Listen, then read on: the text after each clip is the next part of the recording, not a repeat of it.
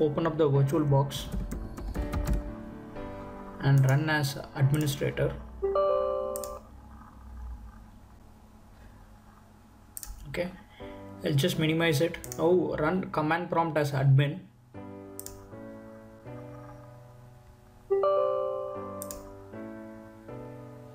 This is the default directory of your uh, command prompt as administrator c uh, slash windows slash system 32 this has to be changed to the virtualbox location folder location. So now go to the c folder.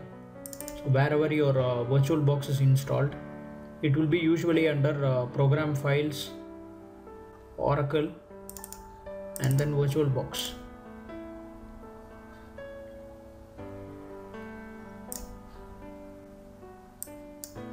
so type cd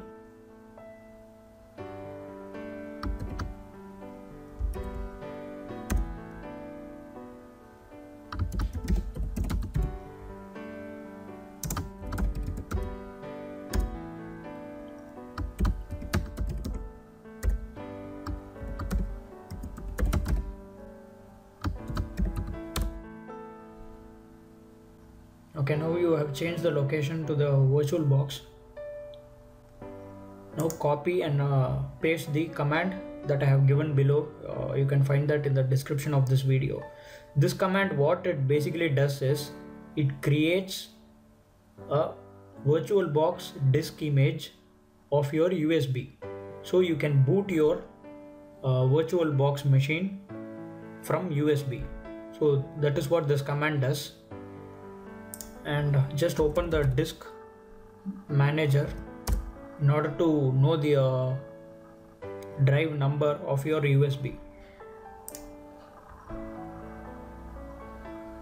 So if you see here disk 0 is my hard disk and disk uh, 1 is my pen drive which has the uh, image of Volumio okay so this is disk number 1 and here uh, instead of the hash command type the disk number here.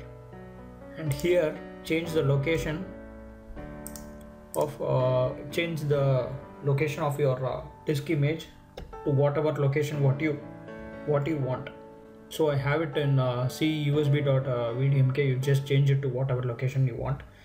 Just press enter.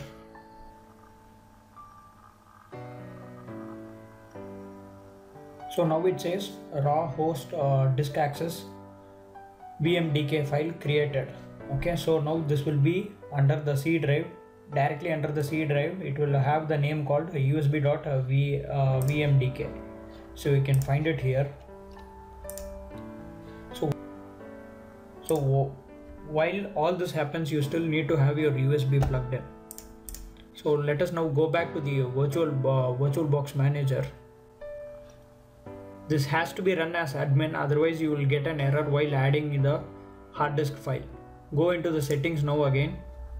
Go to storage and uh, click on the add uh, hard disk icon here. Click choose existing hard disk and choose usb.vmdk here and click open. Just in case if you don't run this as an administrator you will not be able to add the usb.vmdk click ok now just start the machine